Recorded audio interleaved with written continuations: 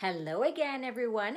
This time I am here to show you this adorable pillow that you can make out of duct tape. It's a perfect craft to do with your kids because then they'll love snuggling up to it when they're done making it.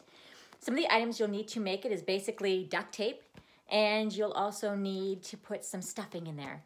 So you can use cotton, you can use any type of thing that could be stuffing for a pillow. Two ingredients makes it pretty simple to make ingredients. You know what I mean, two supplies. so, how do we make this, you ask? Very simple. You need some duct tape. Again, it comes in multiple colors and patterns.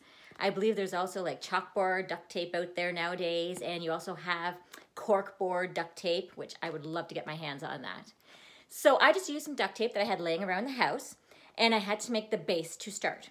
So as I've mentioned before, and everybody mentions in their videos, you make a base by using duct tape. You rip off a whole um, line of duct tape as much as you think it's, you'll need to make your base, and then you lay it down on a table with the sticky part up. Sticky sides always up when you start.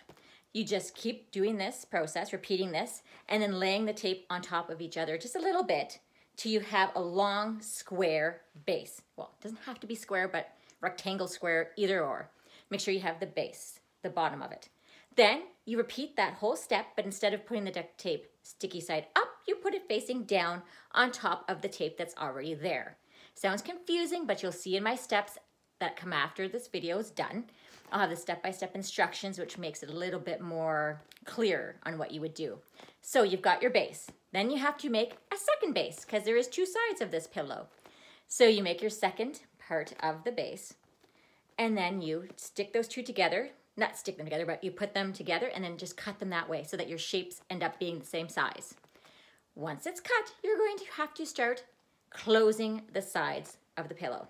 So I use tape. You can use the same color tape or different tape, whatever you'd like to do or whatever enhances your pillow. And you only tape it up to around this part because you still need to stuff your pillow. So you tape it up to around there on both sides Take your stuffing, stuff your pillow, and then you just continue taping it until you have it completely shut. Once your pillow is done, you start decorating. I am not lucky enough to have a Cricut. If I had a Cricut machine, I might have done some more funky stuff instead of just using a Sharpie and writing love on my pillow. Still pretty cute though, right? so maybe one day I'll have a Cricut and I'll make it look even more cool.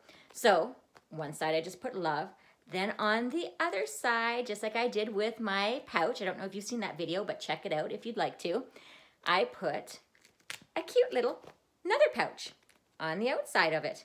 So it's a pouch on a pillow, whereas my other video was a pouch on a pouch. This pouch can hold little love notes. Let's see what this one says. Oh, nothing too cute, just says, write your sweet note here.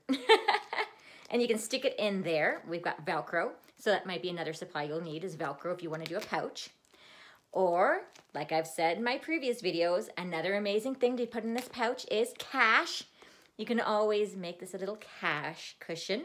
Or another thing you could even make it is, I know it seems odd, but if your kids want to make it as a tooth fairy pillow, they could do that as well.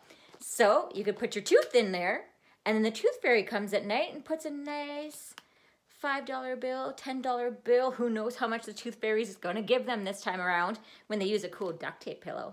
That's another great idea for this. I'm glad I thought of that. so anyways, you will see the step-to-step -step instructions right after this. Have a great day, guys.